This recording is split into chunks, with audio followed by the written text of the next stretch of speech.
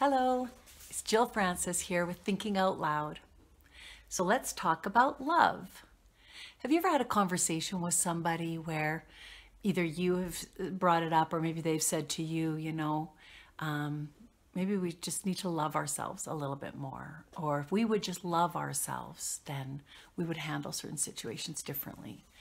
And what I find if you were to ask most people, myself included probably, if you were to say, do you love yourself? Do you really love yourself? I think most people would say, I do love myself. In fact, I think I'm pretty awesome. And oh, that's not my problem. I do love myself. I have good self esteem. I'm very self confident. Whatever words we use. But I think so much of how we love ourselves is much deeper than that. In fact, I think that most of us don't even realize that there's pieces of us that maybe we're not loving.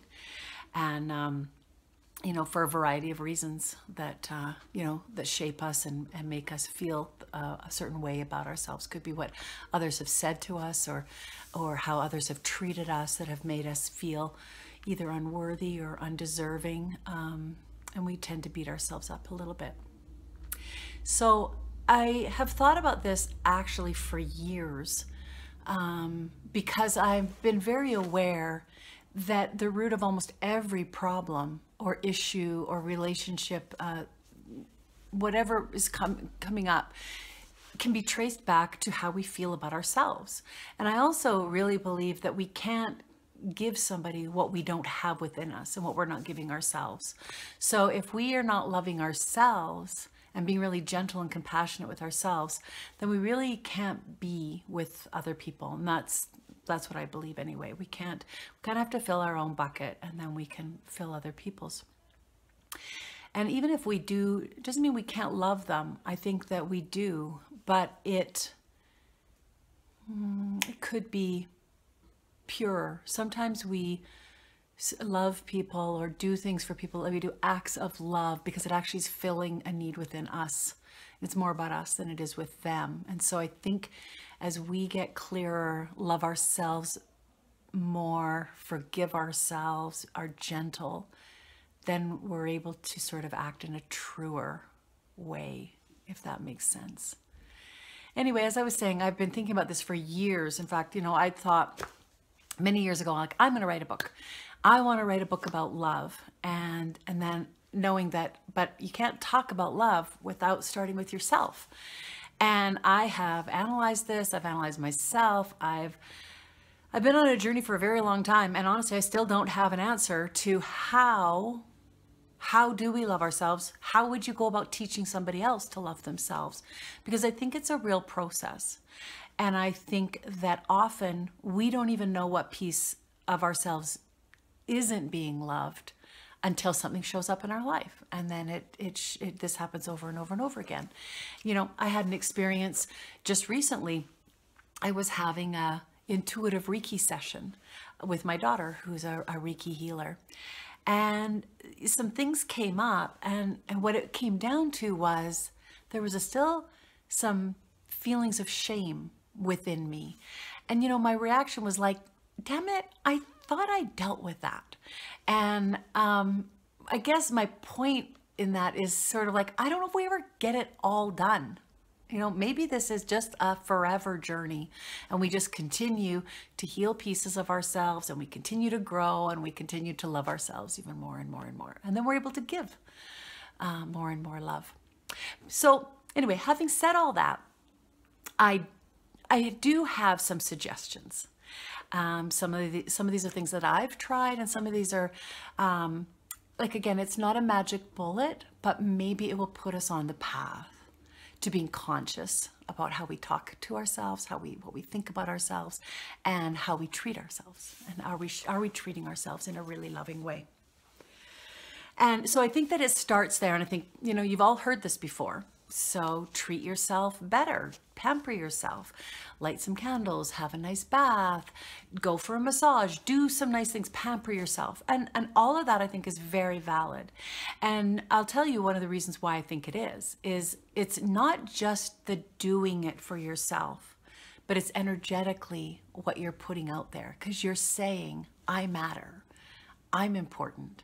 I'm going to do these things for me because I'm important. I'm, I have to be somewhere on my list, and I'm choosing to put myself at the top of the list. And so I think by doing those things and starting to treat yourself better, um, you kind of you, you kind of switch up the energy around how you treat yourself and how you feel about yourself. And so that would be number one. Um, just just start doing it, even if you don't feel necessarily, you know, uh, even if it's a struggle, I guess. And I know it is, especially, I think, especially in our very busy lives, just to find, you know, half an hour for yourself isn't always easy, but it's important. And then the second thing I would suggest is really start paying attention to the voices in your head and the messages that you're sending to yourself. And I've become very aware, not only what comes out of my own mouth, but I've become very sensitive to listening to what other people say about themselves. And if you're listening, it's very evident and very sad sometimes what does come out of people's mouths and such a clear reflection unfortunately of of how they see themselves. And so i would i would say like so the next step is just to really watch. You know when you walk by the mirror in the morning do you say good morning beautiful? Or do you go like oh my gosh i look terrible today? And or whatever that voice in your head says and so i would just sort of challenge you to catch yourself and again not beat yourself up that you said it but become aware of what you were thinking, what you were saying to yourself, and then I'm going to suggest a little Ho'oponopono. If you don't know what Ho'oponopono is, I would just recommend that you go and check it out. We'll we'll probably get into Ho'oponopono um, in in some more videos, but so there's different ways to practice Ho'oponopono. Probably the most famous, um, made popular by Joe Vitale, um, who studied with Dr. Hew Len, who who basically um, created or popularized this practice. Uh, very fascinating man. But it's really four phrases. I'm sorry. Please forgive me. Thank you. And I love you. So what I'm going to suggest is when, when a thought comes up you, and you say something negative to yourself, I'm so fat, or whatever you tell yourself on a regular basis, that you immediately catch yourself and then just go, thank you. Thank you for bringing that to my attention. And then follow it with, I love you. I love you for thinking it. I love you for being honest. I love you for just for feeling whatever you're feeling. Just before you dismiss it and before you beat yourself up for saying it, just appreciate that you're recognizing it. And then you can say to yourself with great compassion, I'm sorry. Please forgive me. It's really powerful. I've been practicing it for quite some time now. And I it it is just it will just change things. It really really will. And it will definitely change if you practice it um, how you feel about yourself and how you see yourself. And you just will you just won't say those things to yourself anymore because it'll be really you know you'll really feel it. And i'm also reminded of louise hay and you know her recommendation um, was when you start on this journey of really loving yourself and healing your life by loving yourself was to look in the mirror 300 times a day and look yourself in the eye and say, I love you. Try it. Try it even once because I'm curious. It's a bit uncomfortable if you haven't done it before. Look yourself in the eye and say, I love you. Okay, so having said that, I think it's just really about making a decision. Just saying, I will not talk negatively about myself anymore. And then, like I said, then you become aware of it when you, because the thing is, these these thoughts and feelings and beliefs that we have about ourselves, they run really deep. They are voices from our childhood, voices from society, voices from our parents, our family, our siblings, you know. And it's amazing the things that stick in our mind. You know, one comment someone said when you were seven years old, and to this day you're still self conscious about, you know, a some part of your body or some part of yourself. So I don't know why these things stick, but they do. Um, and we can just become aware of them and start to undo them. And in doing so, we'll become a lot more accepting of ourselves and, and truly loving ourselves. Now, having said all that, um, that almost feels like the easy part because I think what generally happens is that we can be going along fine and then something happens in our life. A situation comes up could be in a relationship could just be something that triggers us. And um, and and we react. And sometimes we react in um, not a very positive way. And i think that again um, I'm, I'm going to just suggest, and I've sort of tried to be very, become much more aware of this myself, is that when these situations come up, just to sort of recognize what is the situation trying to teach me or show me? Because, you know, especially when these things come up between us and another person, it's never about the other person, even though we think it is. And we can be really angry, we can get really frustrated, we can be very irritated. and we can want to blame them for all of it. And but it's really not. I'm sorry to say that, but it's not about them. It's only about you.